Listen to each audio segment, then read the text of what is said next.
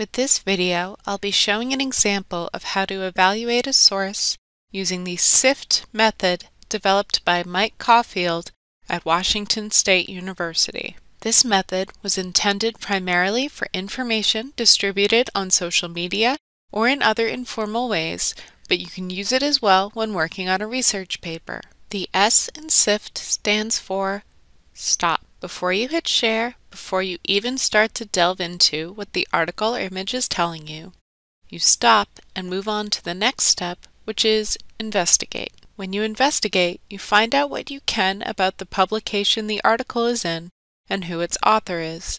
You want to know who is telling you this information so you know how to analyze what they are saying. The F stands for Find Better Coverage. If whatever source you found seems less trustworthy, you will next look to find a more trustworthy source that is covering this story.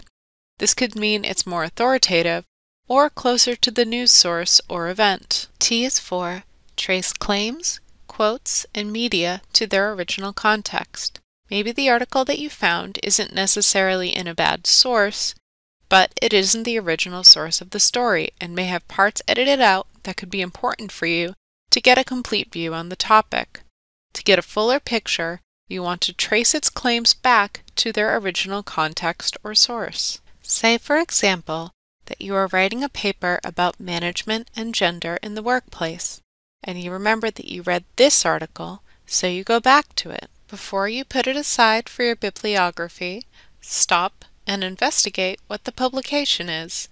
Wikipedia can help in this context just as a check or to use if you found a source you've never heard about you'll see that Glamour is a magazine that at its beginnings focused solely on entertainment. So it's not going to be the source doing the science described in the headline. Now that you've done enough investigating to know that this article is at best going to be a jumping off point to finding a better source, Scroll down and see that the article is summarizing a Harvard Business Review article on women in the workplace. This Harvard Business Review article was the one that cited the scientific study mentioned in the headline of the Glamour article. But even in this summary of the study, you'll see that the results don't really match with what's said in the headline.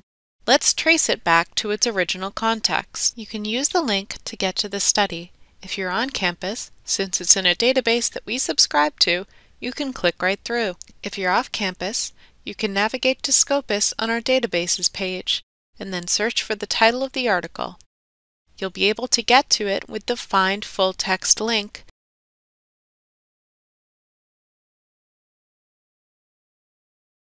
But even within Scopus, there are other things you can do to investigate this new source. You can take a look at the author and see that they've written a lot of other articles about language and gender. You can investigate the journal and see that it's cited a lot within other language journals and has been in publication since the 1980s. From this investigation, you'll feel confident that the original context for the study mentioned in this article is in a respected academic journal by someone with expertise in the field. Reading articles outside of your field can be difficult, but you can take a look at the abstract and see if it lines up with what's reported in the popular source that you found. In the abstract, it says that a significant result was that participants interrupted female speakers more, but it doesn't say whether there was a significant difference in which gender the interrupter was. To see the full findings, go into the Results section to look for the results chart. On this chart, you'll see something like what was summarized in the article. It says that both men and women interrupt women more often than they interrupt men. So by using the SIFT method, you took an article that may have made you report erroneous information in your paper if you'd just taken it at face value, and used it to find a more reliable source that gives you more nuanced information and it only took you a few minutes. Thank you for watching, and please feel free to contact us if you're having trouble telling if a source is reliable or how to trace back a claim to its original context.